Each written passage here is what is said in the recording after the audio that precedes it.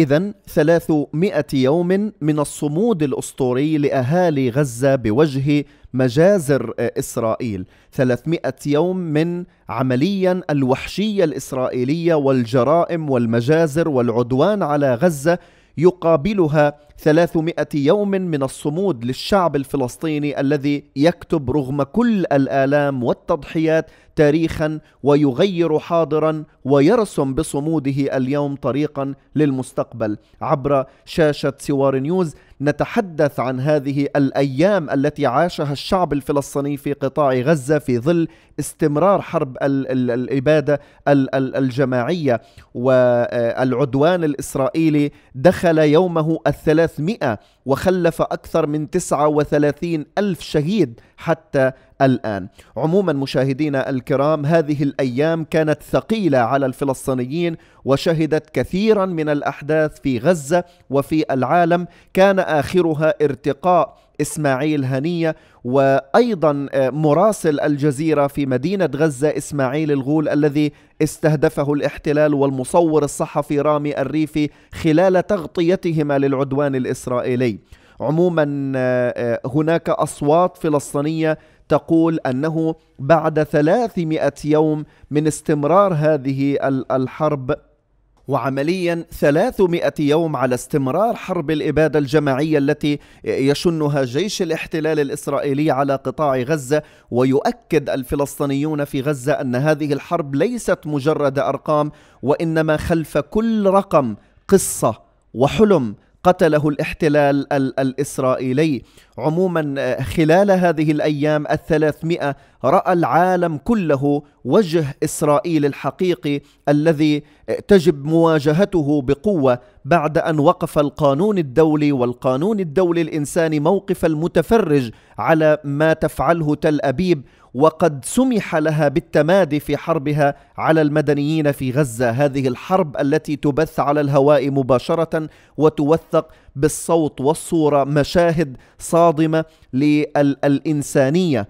عموما كيف يمكن أن نصف المشهد في غزة مع دخول الحرب يومها الثلاثمائة وهناك فعليا ثلاثمائة يوم تحت الإبادة 300 يوم في مواجهة العالم الصامت 300 يوم من شلال الدم المتدفق في شوارع غزة 300 يوم من العبث بمستقبل جيل كامل وحاضر جيل كامل في غزة.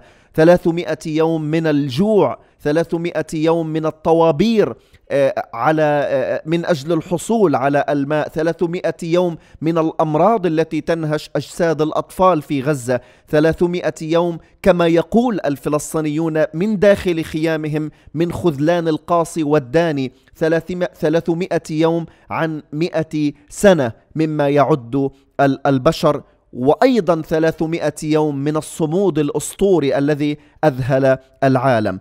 عموما هناك يدركون كما يقول المتابعين والمراقبين للمشهد أن إسرائيل تعلم أنها لن تحقق أي شيء في غزة بعد 300 يوم من الفشل والدمار على رؤوس المدنيين و الصمود الفلسطيني باقي ويؤمنون أن أرضهم ستتحرر من الزمن مهما آه، طال. عموما آه، مشاهدينا الكرام كما أشرنا 300 آه، يوم من هذه الحرب في المستمرة في في غزة وفي كل لحظة نتابع استمرار الغارات الإسرائيلية على مدينة غزة وشمال قطاع غزة. يأتي هذا في ظل تطورات خطيرة. في لبنان يقولون أن الرد على اغتيال قادة لبنانيين أمر محسوم والعدوان على بيروت واستهداف المباني المدنية هذا أمر سيرد عليه في لبنان. وبالتأكيد هناك في ظل استمرار حرب الإبادة الجماعية وهذه التوترات في المنطقة الأمين العام للأمم المتحدة طالب المجتمع الدولي بمنع تدهور الأوضاع في المنطقة. لكن واضح أن المجتمع الدولي لم يستطع أن يكبح جماح الإسرائيليين.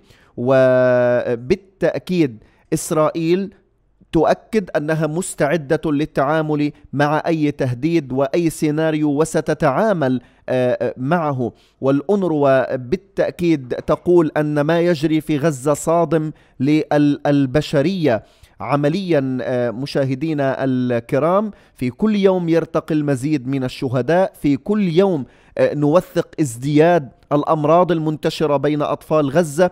وزير الخارجية الأردني قال لا يجوز أن يكون مستقبل المنطقة مرهون بالانتقائية الفجة لنتنياهو. لا يجوز كما يقول وزير الخارجية الأردني أن نسمح للأجندات الإسرائيلية المتطرفة بأن تدفع المنطقة نحو مزيد من الدمار. لا ينبغي رهن مستقبل المنطقة بالانتقائية الفجة لرئيس الوزراء الإسرائيلي بنيامين نتنياهو. عموما مشاهدينا الكرام المشهد ميدانيا متوتر. الجيش الإسرائيلي أمر بإغلاق عشرات المصانع عند الحدود مع لبنان وحالة ترقب وانتظار للرد. ومن أين سيأتي هذا الرد؟ ويقولون في آه، أن الرد حتمي والكيان الصهيوني سيندم آه، على هذه الجرائم. وزير الخارجية الأمريكي أنتوني بلينكن يقول في تصريحات لشبكة سي أن أن أن الشرق الأوسط يتجه لمزيد من الصراع يحث كل الأطراف على عدم اتخاذ إجراءات تصعيدية ويقول لا بد من وقف إطلاق النار في غزة وهو ما سيكسر دائرة العنف ويؤدي إلى هدوء بين إسرائيل ولبنان. ويقول من الضروري أن تتخذ جميع الأطراف الخيارات الصحيحة في الأيام المقبلة وجميع الأطراف بحاجة إلى إيجاد أسباب للتوصل إلى اتفاق وليس البحث عن مبررات لتأخيره وفي إسرائيل الجيش الإسرائيلي يلغي إجازات الجنود بالوحدات القتالية. وفي إسرائيل أيضا مستوطنون رغم كل هذه الأحداث يواصلون استفزاز مشاعر المسلمين ويقتحمون المسجد الأقصى المبارك.